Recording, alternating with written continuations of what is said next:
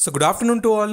Hope you're doing great. So in this video, we'll be discussing about IDFC First Bank share. So we know that today the stock has given very good movement and you can see almost 6 to 7% positive movement is seen in the stock and current market price is around 54 rupees level. So yesterday we know that a panic selling was created in the market and majorly all the banking stocks have corrected. So clearly I told that all these corrections are temporary. So yesterday also we have discussed five stocks basically some are very good large cap stocks stocks also. So all of them have corrected including tata motors. So that is obvious. So never ever sell your holdings whenever any panic situation is created in the market. Just you need to find the opportunity and you need to average at the right levels. So today we'll see what would be the next immediate targets of idfc first bank and also we'll see how the deliveries have been taken on a regular basis. So we know that yesterday i've put an update in the telegram that i'm starting a separate channel for stock market education. So definitely if you are already subscribed to StocksDiary so do subscribe that particular channel as well so that definitely you will be learning something new related to the stock market related to options and uh, rest of all which i have discussed in telegram. So i'll provide link in the description as well as in the comment section Okay, so first let us start our discussion with how much deliverables have been taken in IDFC First Bank. So you can see almost 5 crore shares have been traded and you can see almost 1 crore shares have been taken into deliveries and you can see 30.68 is the delivery percentage. So today we know that earlier uh, when it has showed a gap down opening and when it has gone to 10% uh, down. So after that we know that a particular gap was created between previous close as well as yesterday's close. So definitely the stock is now trying to fill that particular gap. That's why today we have seen a very good momentum and even many stocks especially in banking sector they have started retracing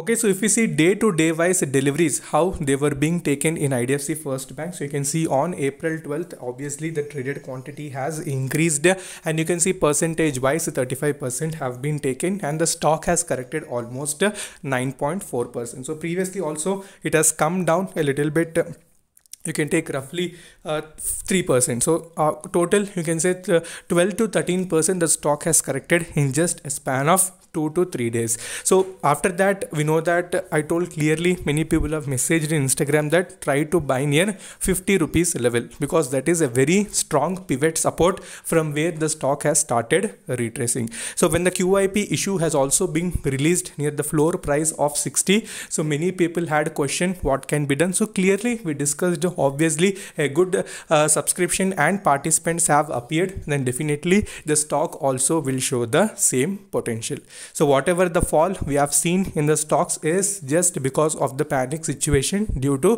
COVID cases. So same what happened earlier in the last year also we know basically the time cases were at peak. So now cases are not that peak just they are moderate. So increasing since they're increasing so that's why little panic situation has been created. So don't worry about that just uh, try to invest in good fundamentally strong stocks.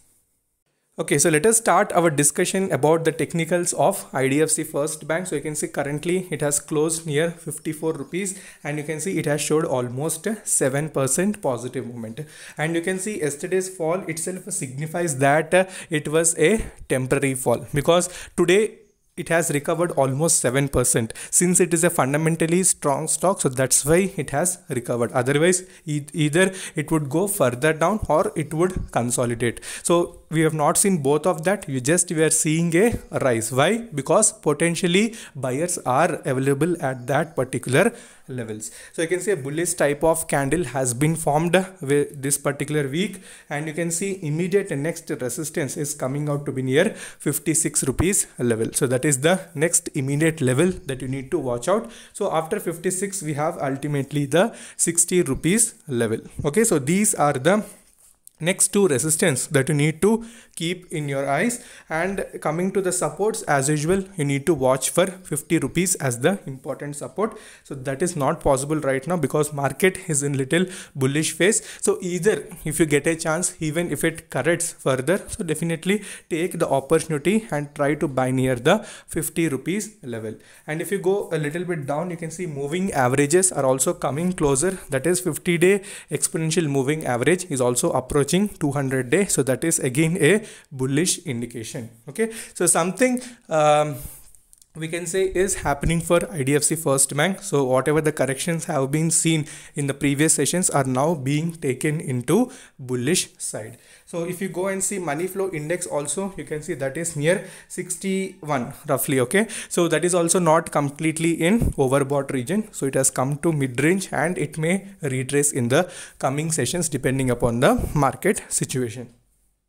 Okay, so coming to the one day chart, which is very important. So in that you can see this was what I'm telling the gap down which has been created in one day chart. So you can see how it has corrected okay so how it has corrected in the past that is yesterday. So i told that a gap has been created. So now it is trying to fill that particular gap. So you can see so currently the closing also is the bottom of the gap. So can you see here? This is the bottom of the gap. So it is trying to fill the bottom of the gap. So again maximum chances are it will try to approach near the 56 rupees level. Why? Because we have the 50 day exponential moving average at that particular level okay? So these are the next two immediate resistances. A good gap filling theory is being taking place. So i'll discuss all these things in my second channel of stock market uh, education. So there we'll discuss each and everything. So you'll learn something new definitely. So do subscribe to that channel as well. And definitely i'll start uploading videos as well.